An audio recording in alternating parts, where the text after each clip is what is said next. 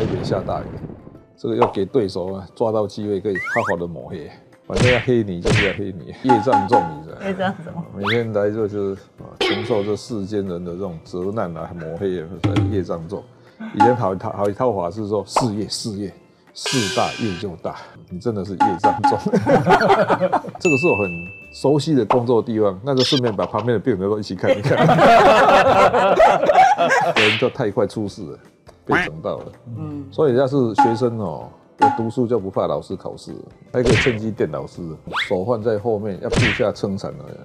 对，这是我的局长，当场就痛骂，当场就痛骂，当场就痛骂，这个就是我最不喜欢的。是是是，这种当官哦，当到要人家服侍，嗯，真的是官。上个周末啊，到中台湾去浮选，结果这个台北下大雨，这个要给对手啊抓到机会可以好好的抹黑。事实上，我当天早上六点多一起床，我就我就接到他们前天晚上十二点的给我的那个。烂烂就是那个气候气候预告，所以我当天早就开始下命令，我这个我们消防局长要进驻哪里啊？护士长要处理啊，都都都。那我跟他讲说，就按表操课，因为事实上我对我这八年来建立的这个灾防系统还是有信心的。我们台北是这样，三级三级警戒的话就消防局长，二级警戒就副秘书长，要到一级警戒才是市长要到这个应变中心坐镇。那一般来讲，我们是这样，消防在三级警戒的时候，大概在消防局长跟七个七个局处进出进去就好。我们全员动员要到三十一个局处啊，这样。那其实这样，我就这个时代，你知道，其实不管透过烂或透过 iPad，其实状况都很清楚了。啊，他们就有我说有问题再给我报告，啊，就什么阳金公路塞住了，土石流，哦，马上就要清了，通了。再塞住再通了，所以我大状况都知道。只有他到下午，他们跟我说：“哇，那康乐隧道塞住了。”那传那个影片给我看，我说：“这个要清没有那么容易。”我我回来看看好吧。我说我才回来，所以事实上我们是有从头到尾掌握状况的。不过哈，反正要黑你就是要黑你。当然了。我那什么什么人不在？我现在想说，那那如果美国总统出国访问，在空军医疗上面，难道不能指挥？他们美军作战吗？还是可以嘛？是。更何况我们台北市这种异化政府，你知道哈？科技的时代，科技的时代，这个都已经远距了。不过为了这件事情，我还特别跟他讲，那这样好，我们把整个在防中心哦，要全部给他上网。所以要这这真的美国空军也好，不管在哪里，整个 EOC 的荧幕全部要直接可以上来。好了。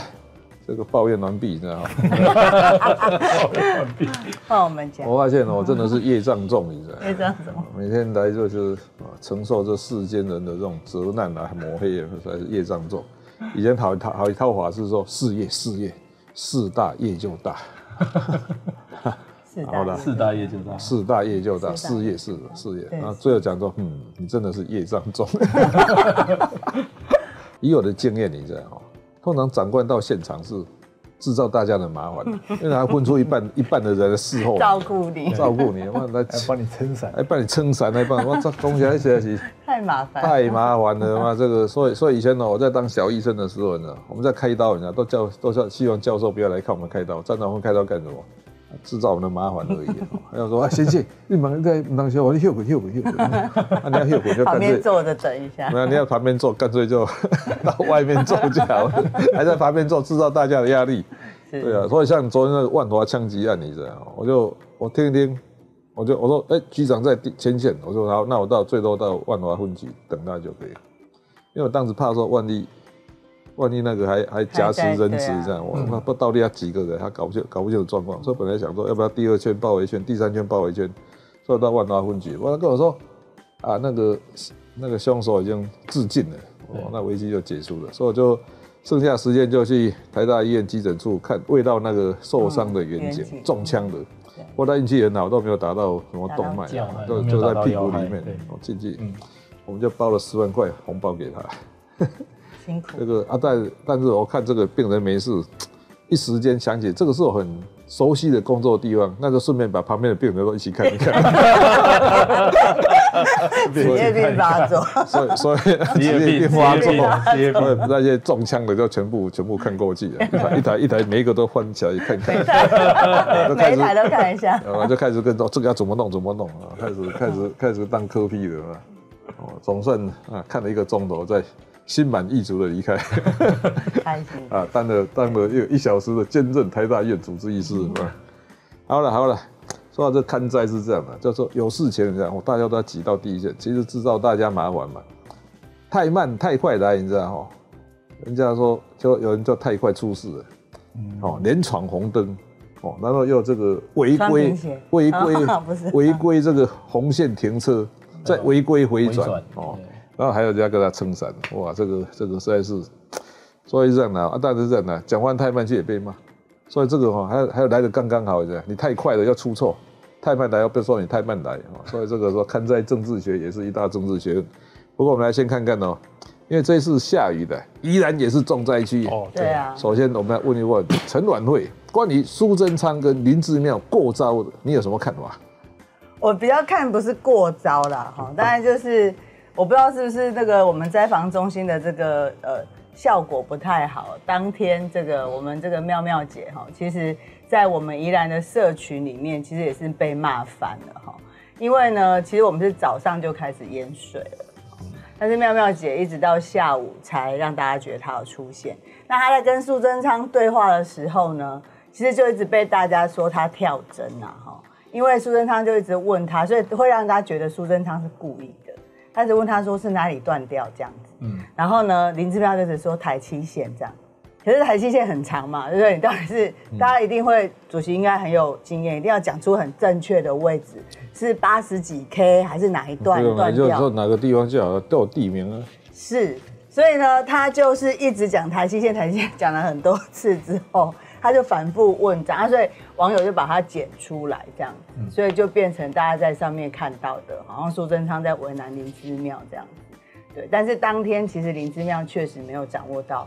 很精准那个状况，因为他确实被问好几次，一直等到幕僚把东西递上去之后，他才把正确的位置讲出来，这样子。那那个地方确实是我们后来有非常多的这个宜兰县民被困在山上，困了一整天哈。那我们党团这边刚好也跟现场被困住的民众有取得一些联系啦。我刚刚讲是苏贞昌刚那一页。我觉得，所以我们会觉得，就是说林县长他身为这个指挥官，他并没有去了解到真正断路的地方在哪里，然后及时的去跟苏贞昌要求，就是说交通部的这个公务总局要怎么样去疏通，然后让大家在那边等等了一个晚上，然后又冷又没有油，我们一直得到的消息都跟公路总局传来的消息是不一样，然后大家又饿又怕，所以当天的状况是这样。嗯，我倒觉得这样的哦，其实林志妙第一，他应该准备 iPad。